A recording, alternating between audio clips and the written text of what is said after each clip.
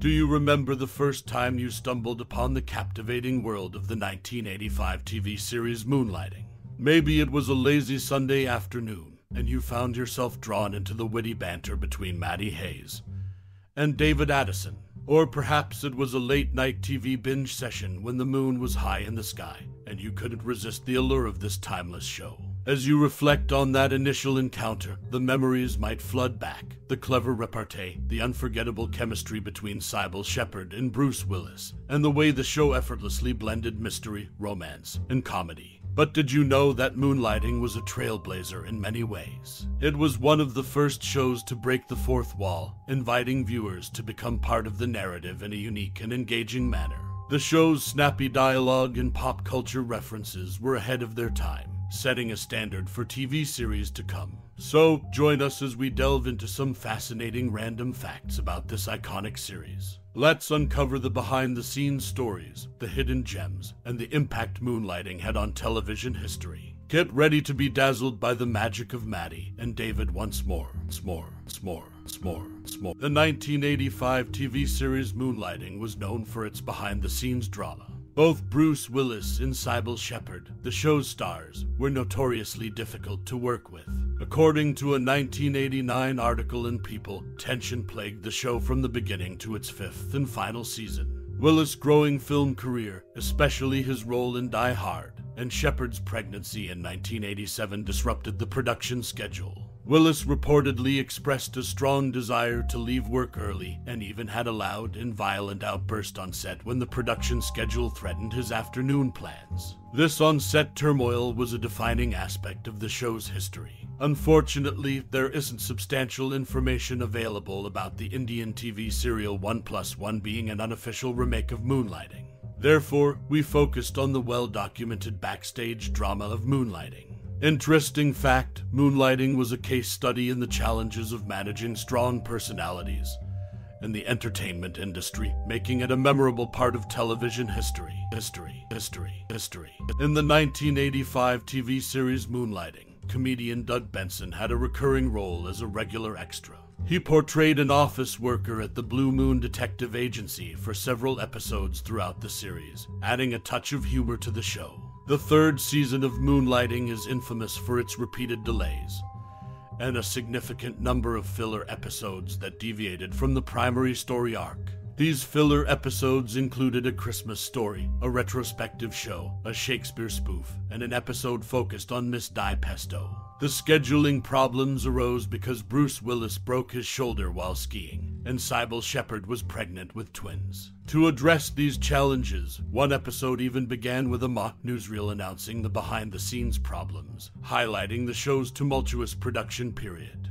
Interestingly, when it came to casting the role of David Addison, Jr., Robert Blake and Rick Dees were considered candidates. Voice actor and stand up comedian Maurice LaMarche received three callbacks during the audition process, but was eliminated before reaching the screen test phase. Moonlighting was not only a groundbreaking series for its mix of drama and comedy, but also for the intriguing behind the scenes stories that added a layer of complexity to the show's history. Show's history. In the world of 1985 TV series Moonlighting, some intriguing tidbits emerge. Among them, the tale of how Bruce Willis came to play David Addison Jr. takes center stage. ABC and Cybill Shepherd initially had their eyes on Harley Venton for the role. However, creator and writer Glenn Gordon Caron had other plans. He opted for then unknown Bruce Willis instead. Both screen tests, featuring Mary Margaret Humes as Maddie Hayes, were recorded on September 7, 1984, and can be found at the conclusion of the pilot DVD. The show's episodes faced more than a few delays. So many, in fact, that a promotional spot had an actor playing a network employee who was left waiting for the next episode to arrive. The wait must have been quite the ordeal. Lastly, in the second episode, David casually mentioned someone named McGillicuddy. Little did viewers know that this mention would lead to a recurring character in the third season. McGillicuddy became an integral part of the Moonlighting universe. In the end, Moonlighting was more than just a detective show. It was a series filled with behind the scenes twists and unexpected character developments. In 1985, the TV series Moonlighting hit the small screen, starring Bruce Willis and Cybill Shepherd. Here are some random facts about the show Die Hard Connection. Bruce Willis, known for his iconic role in Die Hard, was actually filming the action packed movie while still working on Moonlighting.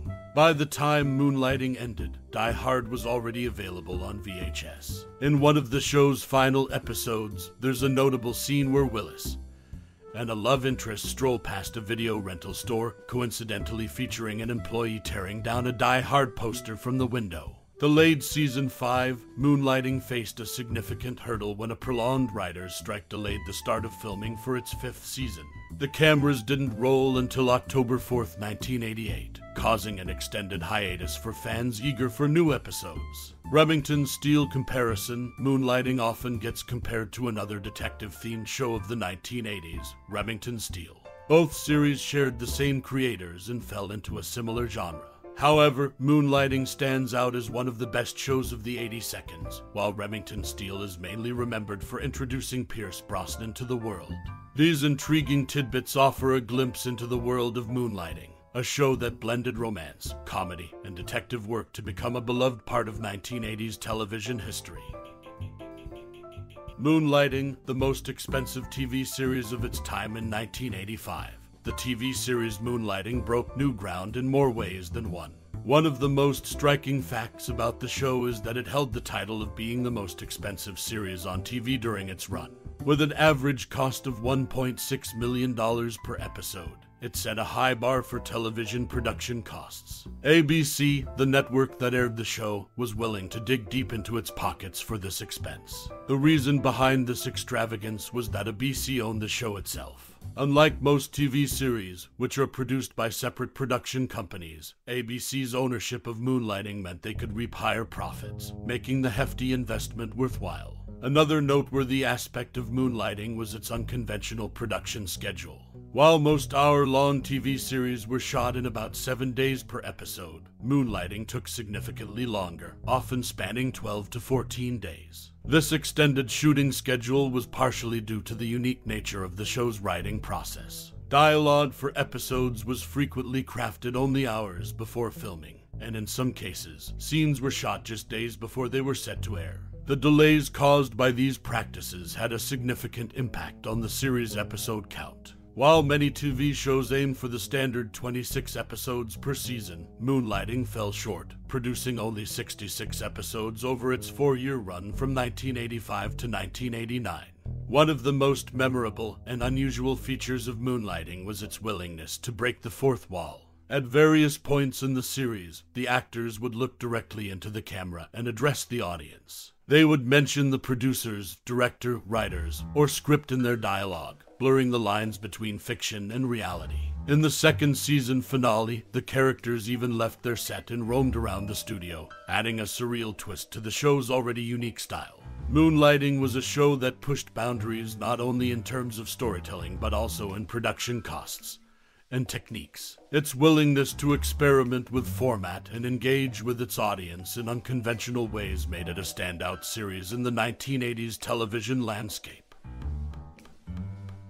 Moonlighting, Love Off Screen, Hate on Screen, the 1985 TV series Moonlighting shone brightly in the world of entertainment, but behind the scenes, it harbored its share of drama. While it gained fame for its witty banter and the chemistry between its leads, Bruce Willis and Cybill Shepherd, their off screen affairs placed a weighty burden on the show's cast and storytelling. During the show's run, both Willis and Shepherd had high profile relationships outside of the set. Their personal lives became tabloid fodder, and the public's fascination with their affairs spilled onto the small screen. Fans couldn't help but draw parallels between their real life romances and the on screen tension between their characters, David and Maddie. This dissonance between fans' reactions to the cast members' affairs and the show's storylines created a complex dynamic.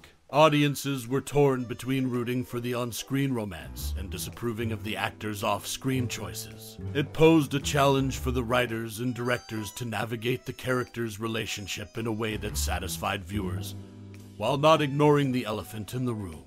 As the show progressed, the weight of these expectations grew heavier. The pressure to live up to the on screen chemistry while dealing with the scrutiny of their personal lives affected both Willis and Shepherd. It became a delicate balancing act for them, and it ultimately played a role in the show's narrative twists and turns. Moonlighting was a hit, but it's impossible to deny that the cast's off screen affairs influenced the audience's expectations and perception of the on screen love story. While the show remains a classic, it serves as a reminder of how the personal lives of actors can cast a long shadow over the characters they portray. In the end, Moonlighting left a mark not only for its clever writing and charismatic leads, but also for the way it grappled with the weight of off screen relationships in the world of on screen storytelling. As we bid adieu to the captivating world of Moonlighting, I invite you to pause for a moment and contemplate the unique connection you forged with this iconic 1985 TV series. Perhaps it's the witty banter between Maddie and David that still echoes in your mind. Or maybe it's the unpredictable mix of romance and comedy that kept you glued to the screen.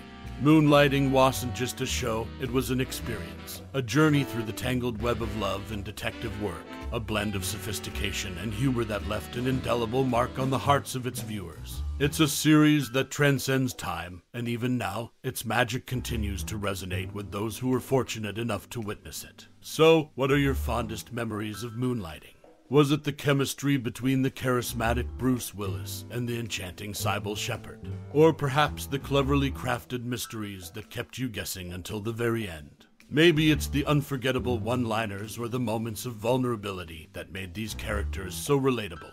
Your thoughts and memories are like treasures, preserving the legacy of this remarkable show. Share them with us, and let's celebrate the brilliance of moonlighting together. Whether it's a funny anecdote, a heartwarming scene, or simply the nostalgia that washes over you, your reflections are the testament to the enduring power of great storytelling.